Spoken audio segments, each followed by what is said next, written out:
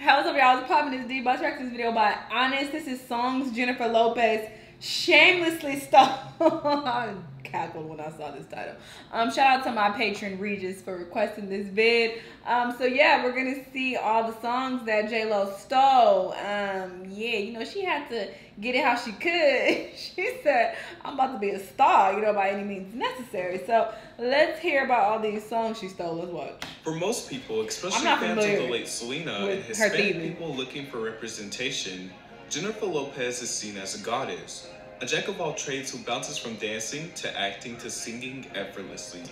But for others, particularly fans of J-Lo's rival Mariah Carey, Jennie is a fraud whose entire success has come from ripping off other artists and dirty business tactics. Of course, neither of these sides are accurate, and the truth lies somewhere between both of them.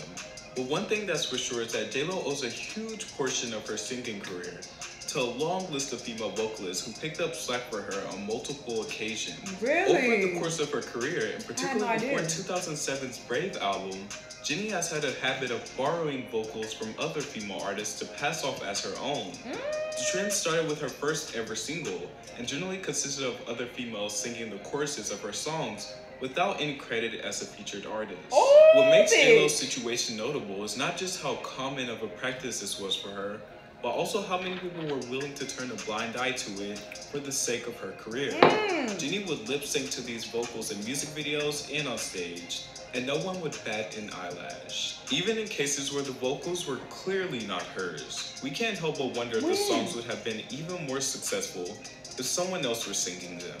Number one, Play, stolen from Christina Milian. Play was the second single from 2000's J-Lo, following the huge success of Love Don't Cost a Thing, and it was popular enough to hit top 10 in 11 countries worldwide. However, what most people probably didn't notice when they were telling the DJ to play their favorite song is that half of the song wasn't even sung by Jennifer at all. Oh. Play was co-written by Christina Milian, who would later go on to have a number 5 hit with Dip It Below. Her vocals are heard all over the finished version of the Can track. They do this Most prominently in the chorus, where J-Lo doesn't sing a single note. Oh. Given that oh. Christina helped write the song, we guess that she also demoed it to shop around to artists like J-Lo, and that for some reason, perhaps time constraints or perhaps just because they prefer Christina's vocals, Producers made the choice to keep her voice on the track. Oh, Christina does get credited for background vocals on the track, but given that she sings the most memorable part, you think she at least be worth a feature. Mm. Number two, I'm Real, stolen from Shailene Thomas.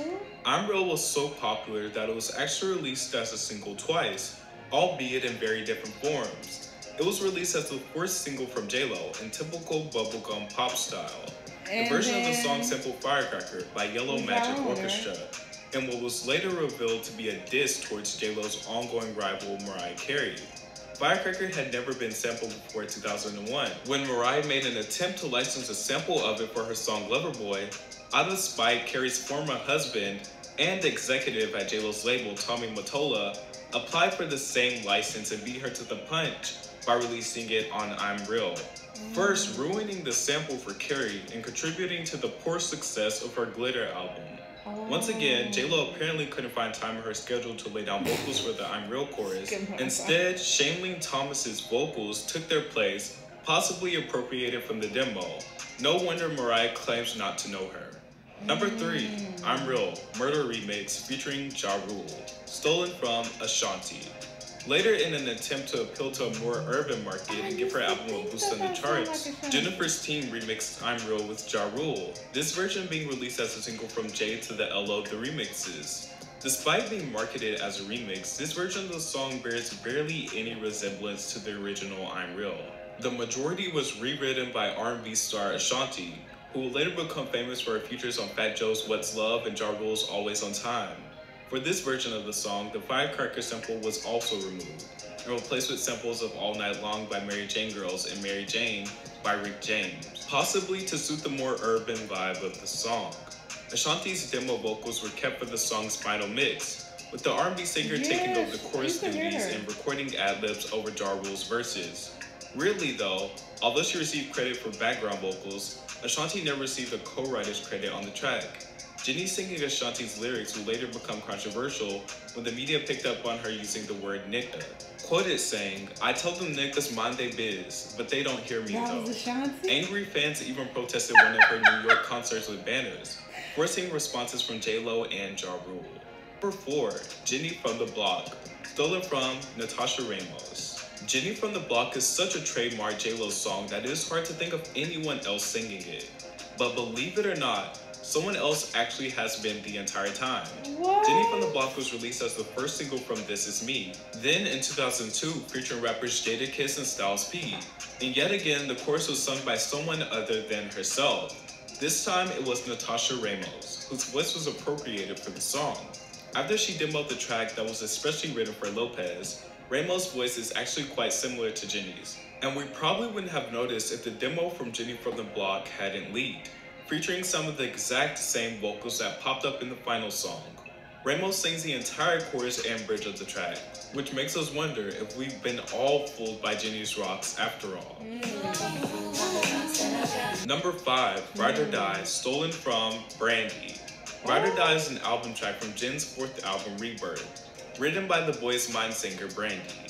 The song was originally intended for Brandy's album, but when that suffered from multiple delays, it was passed on to Jennifer's project instead. Once again, it seems as if though Jen didn't have time to record vocals for the full song, because Brandy can still be heard in the chorus, as well as in the backing vocals She had throughout. time, she the didn't original want version to. featuring rapper Posta Boy will later go on to leak, and a quick listen will prove that certain portions of the vocals are completely identical.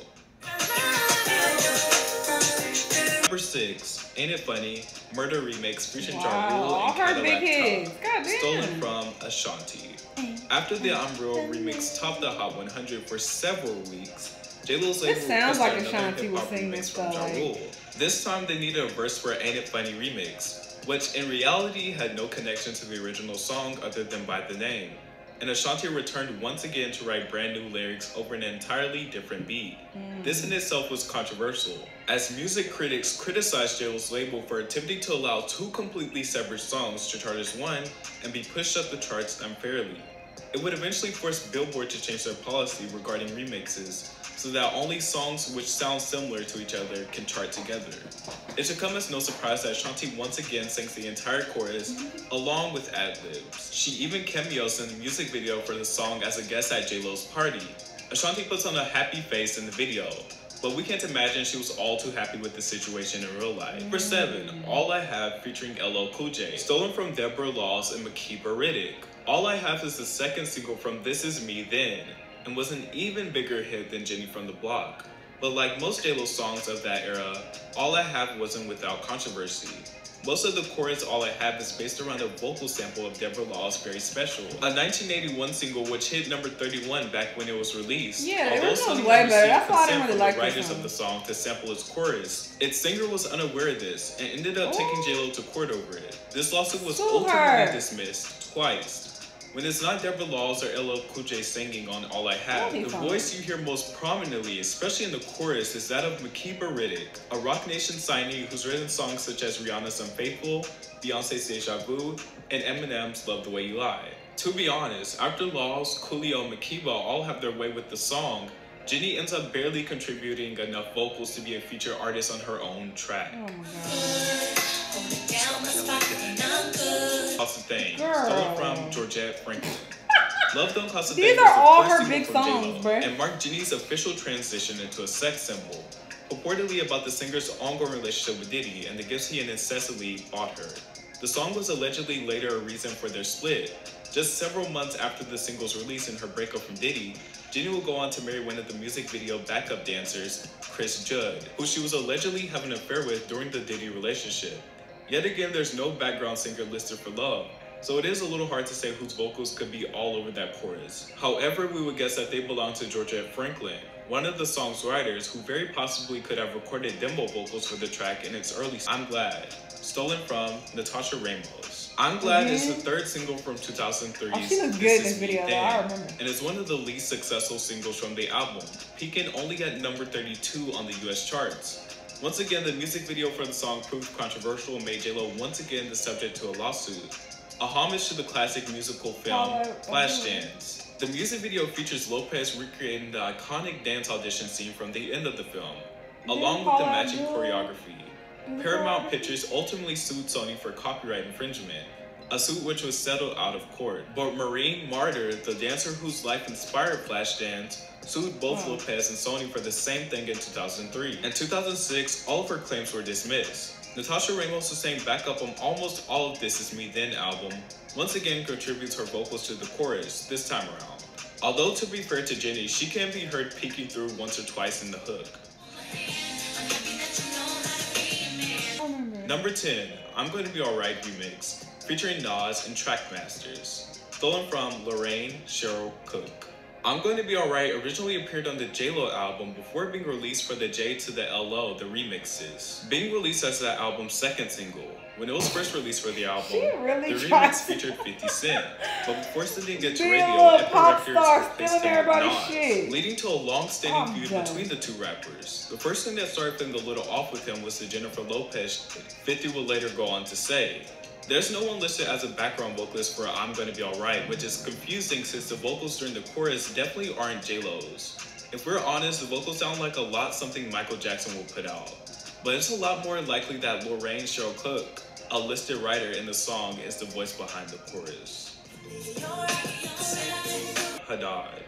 Get Right is the lead single for. Rebirth, and so it made sense for the song to revolutionize Jenny's sound courtesy of producer Rich Harrison, who wrote the song along with Usher. Get Right was originally demoed as Ride for Usher's 2004 album Confessions. After it failed to make the cut on that album, Harrison gave it to Lopez as an apology for giving another track, One Thing, to Amerie instead of her. This was all done apparently without the permission of Usher, who gave the ultimatum I better get some of that publishing rights or else. Hmm. Once again, JLo isn't too prominent on the chorus of Get Right, with most of the vocals apparently being handled by the background singer, Miss Haddad. To be fair though, the production here is quite nicely harmonized, so it's entirely possible that JLo does have a line of vocals in there somewhere. We're just not hearing it. With artists such as JLo, who is held as a legend, committing acts such as these, it makes you wonder what other of our favorite artists have seemingly got away with the same exact thing. I guess we'll just have to keep our ears peeled. What song shocked you the most? And Legend is um I, I don't know about that, but you know, sure. I'm not that deep into the music business and people's numbers and shit like that, so I don't know. But maybe she's considered a legend to some people. Um, yeah, these are all her big songs. They all were stolen to some degree. That is crazy, but you know what? I am not too surprised because I remember thinking that too on a couple of those songs. I'm like, this sounds like Ashanti, like. Is Ashanti featured on this? But you know, it doesn't say she is. This is kind of odd. So, yeah, that makes a lot of sense. But this also sheds some light on, you know, Mariah Carey and Jennifer Lopez's beef. You know, it, it probably started from all this bullshit back in the day. And then, you know, it just never got resolved and it probably got worse and worse over time. So, this is making sense why Mariah Carey saying she don't know her and she be shading her. It- It's coming together. This was an entertaining video though. Y'all let me know what y'all thought. Let me know what other videos you want to react to, and I'll see you in the next one. Bye.